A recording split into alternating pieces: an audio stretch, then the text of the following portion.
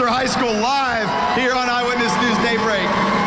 We are, we, we've got people like ready to go in our first game of the day. They are chomping at the bit. I know they're already cheating over there, but you know, if you ain't cheating, you ain't trying. But I mean, that's my motto here. But let's try to keep it fairly clean and stay in your lane, all right?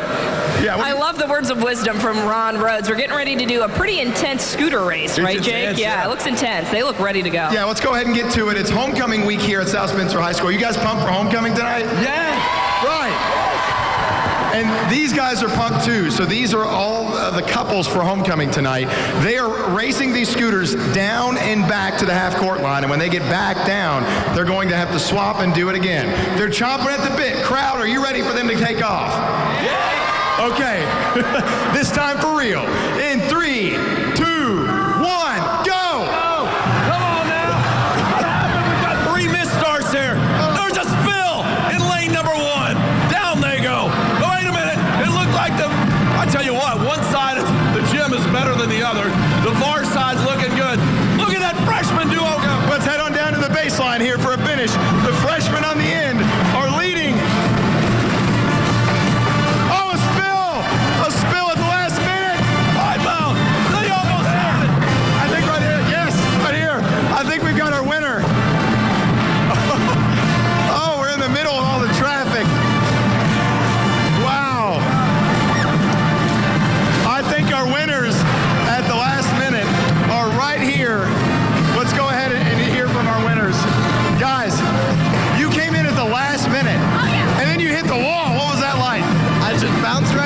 Right. You were the one pushing him about as hard as you could, right? Oh, yeah, absolutely.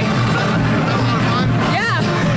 A lot of fun here. Ron, you have to talk to the, the All right, you guys had the lead going down the stretch. What happened at the end? You guys were about to win. I kind of lost it on the scooter there for a second. Was it was it just a total? I mean, you guys saw it right there in your sights. What happened? She just fell off. Pretty simple. You almost had a win. Uh-huh. Wow, that's a tough break. Our freshmen were in the lead, but I think our sophomore group came in first. Let's hear it for the group that won this scooter race this morning. So much fun here at South Spencer High School. So much energy this morning. And as we head to break here and send it back to the studio to Joe and Stacy, let's watch the South Spencer dance team perform for everybody here in the gym this morning. What's up,